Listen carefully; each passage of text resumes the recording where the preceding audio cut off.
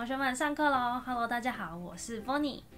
上礼拜的圣诞节，大家都有玩交换礼物吗？我们今天想要来谈谈交换礼物里面的数学。为什么千万不要跟数学好的人一起玩交换礼物呢？当然不是在讲每次在教几率的时候，老师都会说的什么先抽后抽几率是一样。当然不是这么简单的问题啦。我们今天要来大揭秘，怎么样才能抽到自己想要的礼物呢？那。在开始讲这些数学之前呢，第一个我们想要先介绍一下，呃，我觉得蛮有趣的交换礼物的方式。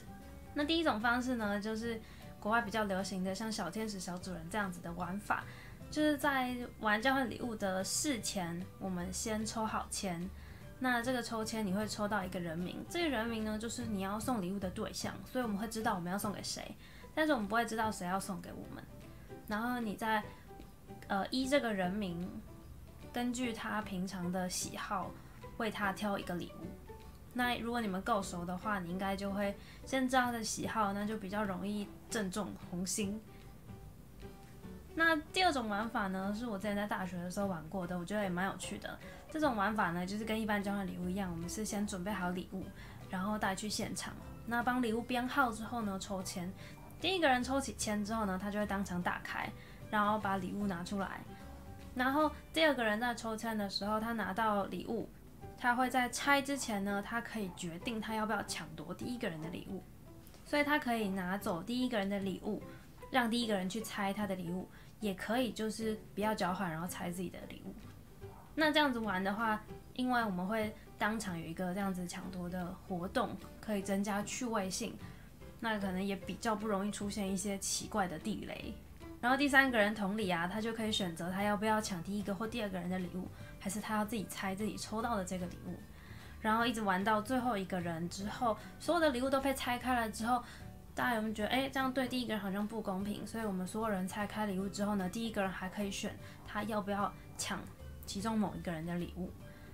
然后呃，当然是有限制抢夺的次数啦，我们是限制每个礼物最多只能被抢两次。不然如果没有限制的话，就好的礼物从头被抢到尾了。所以每个礼物抢夺次数是有限制的，就是比一般的交换礼物又多了一些趣味性。那接下来呢，我们就来聊一聊我们平常比较容易遇到的玩法。那通常呢，我们会帮礼物编编号，然后大家就抽那些号码，抽到的签对应的号码就是你的礼物。但是这样会遇到一个问题，就是有可能你会抽到自己的礼物。那如果我们抽到自己的礼物要怎么办呢？有一种解决方式呢，就是我们会有人抽到自己的礼物，那我们就全部签丢回去重新抽。可是其实啊，这种几率大家觉得高不高？这种有人抽到自己的礼物的几率其实蛮高的哦。如果我们是两个人玩的话，有人抽到自己的礼物的几率就是五十趴，因为我们总共只有两种可能，一个是两个人都拿到对方的礼物，或者是两个人都拿到自己的礼物。所以几率是五十趴。那如果我们三个人参与这个游戏呢？那三个人参与这个游戏的几率呢，就是这样子：四个人、五个人。最后呢，这个有人抽到自己礼物的几率会慢慢趋近于这个一减掉一分之一。这个下面这个一呢是由拉数，其实还蛮高的。也就是你每次抽签就会有六成的几率有人抽到自己的礼物，然后就要整局重抽。所以呢。为了避免我们在换礼物的时候就一直在重抽，所以有另外一种解决方式，就是当有人抽到自己的礼物的时候，立刻把签丢回去，重新抽。那问题就来了，如果我们有人抽到自己的礼物，我们就立刻丢回去重抽，这样的几率其实是不公平的哦。那也就是数学好的人就可以在这里操作动手脚了。我们以三个人为例。我们假设参与游戏的这三个人分别是 A、B、C，然后由 A 开始抽。A 在抽的时候呢，他只有可能抽到 C 跟 B，因为如果他抽到 A 的签，他会立刻丢回去，然后重新开始游戏，直到他抽到 B 或 C 为止。所以抽到 B 跟 C 的几率呢是各二分之一。接着换 B 来抽，如果 A 今天抽到 B 了。那 B 呢？它就也是两种可能，它可以抽到 A 或是 C，这两个的几率也是各二分之一。如果 A 抽到 B，B 抽到 A，这时候 C 呢就会拿最后一张，但是这一张是 C，也就是这个情况下，我们整场游戏会重来，因为 C 已经没有办法继续放回去重抽了。那如果 B 抽到 C，这时候 C 拿最后一张，他就会拿到 A 的。那这情况是可以的。我们走这一条路径的几率呢，总共是前面的二分之一乘以二分之一，所以这条路径的几率是四分之一。好，那我们再来看下面，如果 A 抽到 C，这时候 B 只有一种选择，他一定会拿 A 的钱，因为他如果抽起来是 B 的话，他就会丢回去，那里面也只有两张，所以他百分之百会抽到 A，然后 C 就会拿剩下的那一张就是 B，那走这条路径的几率呢是二分之一乘以一，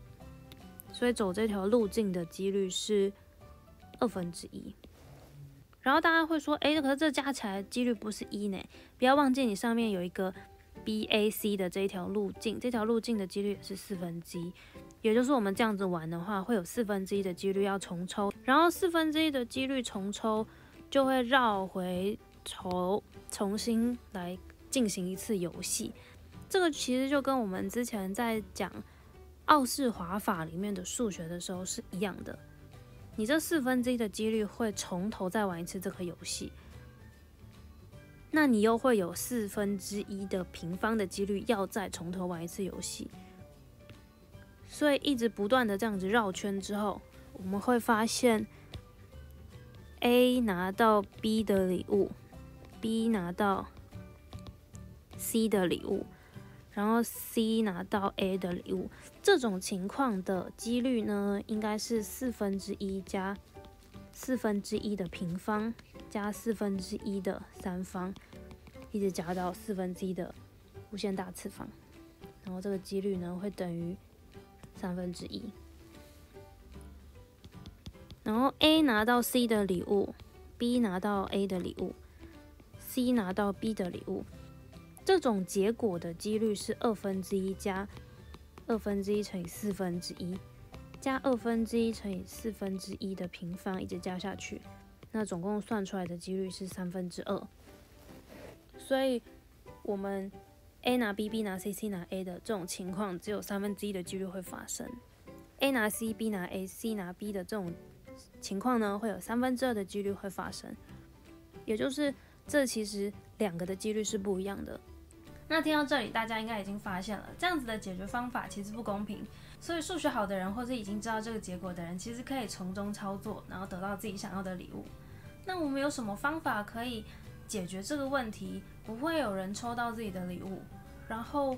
又公平的方法呢？梦云在这边提供一个给大家。例如，我们可以先随机乱数我们参加的人，然后每一个人抽一个号码代表自己。然后接着呢，我们把这个专属于自己的号码都拿出来，然后重新洗牌做直线排列，然后每一个人就送给自己的这张牌自己的号码右边的那个人，那我们这样就绝对不会抽到自己的礼物，而且对每个人来说几率都是一样的。那也欢迎大家留言在下面告诉我们还有什么其他有趣的交换礼物的方法，或是其他非常公平的交换礼物的方法吧。那我们今天就上到这里，祝大家圣诞节快乐，还有新年快乐，拜拜。